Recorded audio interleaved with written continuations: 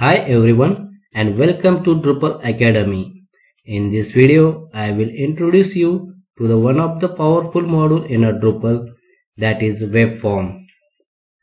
The WebForm module provides a powerful and versatile solution for creating engaging and effective forms in a Drupal without writing a single line of custom code. Its flexibility, ease of use and advanced features make it valuable tool for developers, content creators and website administrators. In the next slide, I will explain you some features of the web form module. So first is the flexibility. Using the web form modules, you can build any type of forms from simple contact form to complex survey forms and the quizzes. Second is the customize every aspect of form including layout, design and functionality. Using the web forms, you can create the multi-step form for longer and more complex submissions. Next feature is the ease of use. So web form module provides the functionality that is the drag and drop. Using the drag and drop interface, you can add any element and rearrange the elements on the form. It provides the setting for configuration of each element's properties. Webform has pre-built-in templates for common form types. Next feature is data collection and management. Using web forms, we can collect various types of data including text, numbers, files and signatures. We can store and manage collected data within a Drupal. Also, we can export the collected data in the form of CSV, PDF or other formats for further analysis.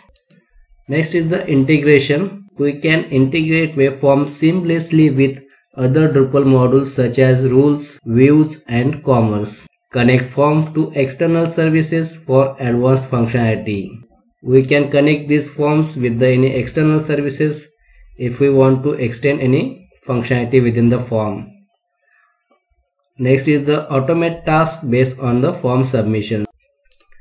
Another feature is advanced functionality. Using the web form, we can add the conditional logic to show or hide elements based on user input. Next is the email confirmation and notification. We can set these things in a web form. Web form provides the GDPR that is the General Data Protection Regulation compliance options while storing the data. Also we can integrate the APIs uh, within the web forms. Web form provide the hooks for those things. Next feature is the cost effective. So web forms are the open source and free to use. Web form has a large and active community of developers and users. It provides the extensive documentation and support resources available. So this is the introduction and the, some features of the web forms. In a next video, I will show you how to install the web forms in a Drupal. So that's it from this video. If you found this tutorial helpful, don't forget to give it a thumbs up and subscribe to our channel for more Drupal related content.